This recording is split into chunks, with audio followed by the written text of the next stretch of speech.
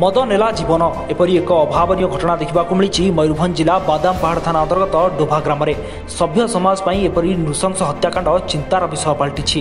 ମଦ ନିଶା ପାଇଁ ବାପ ପୁଅର ପବିତ୍ର ସମ୍ପର୍କରେ ଲାଗିଯାଇଛି ପୁଣ୍ୟଛେଦ। ମଦ୍ୟପ ପୁଅର ଠେଙ୍ଗା ମାଡ଼ରେ ଚାଲିଯାଇଛି ବାପାର ଜୀବନ। ଗତକାଲି ଅପରାହ୍ନରେ ବାପା ଗୋପାଳ ନାୟକ ଘରେ ଥିବା ସମୟରେ ମଦ୍ୟପ ଅବସ୍ଥାରେ ପୁଅ ଜିତେନ ନାୟକ ଘରେ ପହଞ୍ଚିଥିଲେ। କିଛି ସମୟ ମଧ୍ୟରେ ବାପ ପୁଅଙ୍କ ମଧ୍ୟରେ ବଚସା ହୋଇଥିଲା। ଯାହାପରେ ଉତ୍ତ୍ୟକ୍ତ ପୁଅ ପାଖରେ ପଡ଼ିଥିବା ଏକ ଠେଙ୍ଗାରେ ନିଜ ବାପାଙ୍କୁ ନିର୍ଦ୍ଦୟ ଭାବେ ପିଟିବା ଆରମ୍ଭ କରିଥିଲା।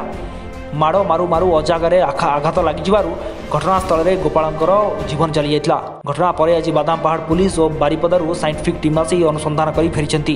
ମୃତକଙ୍କ ଶବ ଉଦ୍ଧାର କରାଯାଇ ବ୍ୟବଚ୍ଛେଦ କରାଯାଇଛି। ବାଦାମ ପାହାଡ଼ ପୁଲିସ ପୁଅ ଜିତେନ ନାମରେ ଦଫା ତିନିଶହ ଦୁଇ ମୂଳେ ନଅ ବାଇ କୋଡ଼ିଏରେ ମାମଲା ରୁଜୁ କରିଥିବା ଜଣାପଡ଼ିଛି।